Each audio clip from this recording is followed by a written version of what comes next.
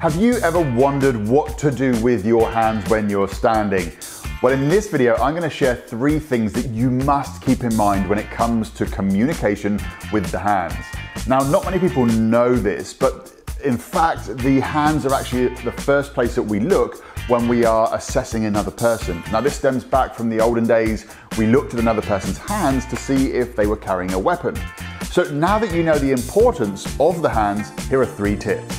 Number one is when meeting someone, keep those hands in view.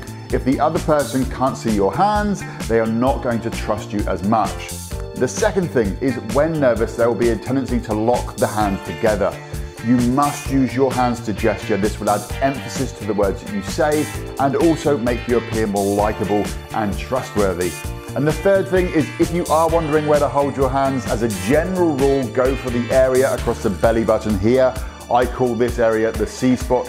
Holding your hands here will display confidence, calmness, centeredness, make you appear clear, controlled, and charismatic. Basically, any positive word that starts with a C, you can stick it in here.